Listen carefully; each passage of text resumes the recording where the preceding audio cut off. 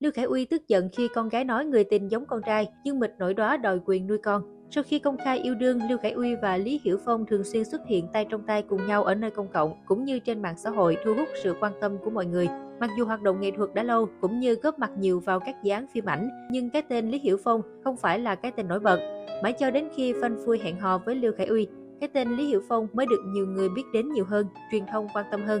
Sau khi chính thức công khai mối quan hệ, Lý Hiểu Phong điên cuồng thể hiện tình cảm trên mạng xã hội để tăng độ nổi tiếng, đồng thời còn đưa Dương Mịch vào để kiếm tí fame. Thậm chí gần đây, Lý Hiểu Phong còn tận dụng thời cơ được mọi người chú ý để tham gia vào lĩnh vực livestream bán hàng trực tiếp, tìm mọi cách để thu hút lượng truy cập. Phải nói rằng Lý Hiểu Phong khá nhạy bén và nắm bắt tốt thời cơ vàng của mình để kiếm tiền, kiếm sự nổi tiếng. Với việc tận dụng cơ hội đang được quan tâm từ truyền thông lẫn cộng đồng mạng của Lý Hiểu Phong đã nhận phải nhiều ý kiến trái chiều. Đa phần cư dân mạng cho rằng nữ diễn viên định luật 80 trên 20 của tình yêu đang cọ nhiệt mà không thể giúp gì cho người yêu của mình là Lưu Khải Uy. Cũng từ lúc Lưu Khải Uy Lý Hiểu Phong công khai hẹn hò, nam diễn viên gạo cội Lưu Đan, bố của nam diễn viên, cũng khá vui mừng vì sau gần 5 năm ly hôn, cuối cùng con trai của ông cũng có bạn gái và mong muốn được gặp cô con dâu tương lai này. Điều này cũng đồng nghĩa với việc tiểu gạo nếp sắp có mẹ kế. Mới đây, Lưu Khải Uy cũng đã bất ngờ gọi điện về Hồng Kông để hỏi thăm con gái. Khi thấy cuộc điện từ bố, tiểu gạo nếp rất vui mừng và bày tỏ việc mong muốn bố về nhà.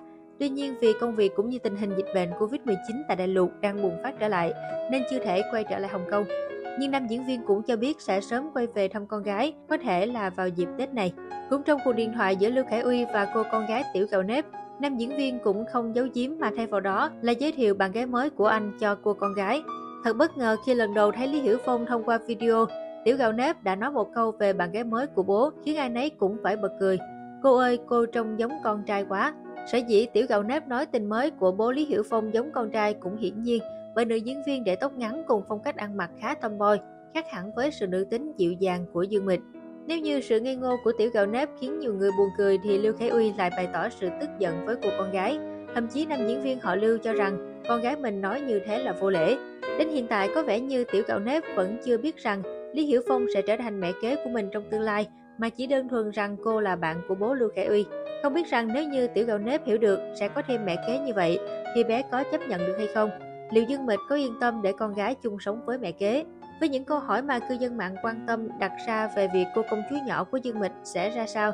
nếu sống cùng mẹ kế, cũng như thái độ của Lưu Khải Uy đối với con, chỉ vì sự thành thật của trẻ nhỏ, theo truyền thông hoa ngữ cũng hé lộ rằng khi thông tin việc Lưu Khải Uy chỉ vì bạn gái mới mà đối xử với con gái như thế khiến Dương Mịch đã tức giận. Thậm chí Dương Mịch cũng nhắn nhủ chồng cũ rằng vì anh đã có tình yêu mới anh nên tuân thủ theo thỏa thuận và trả lại con gái của cho em. Có câu có mẹ kế ắt có cha ghẻ, Tiểu cầu nếp giờ đây phải chăng không còn là người mà Lưu Khải Uy dành toàn bộ thời gian, sự yêu thương duy nhất nữa, mà hiện tại thời gian và sức lực của anh ấy sẽ được phân bổ cho người tình Lý Hiệu Phong. Với tình huống hiện tại, Sinet cũng đã bày tỏ quan điểm rằng tốt nhất Lưu Khải Uy nên để con gái đi theo Dương Mịch, để mẹ bé nuôi dưỡng, chăm sóc con mình.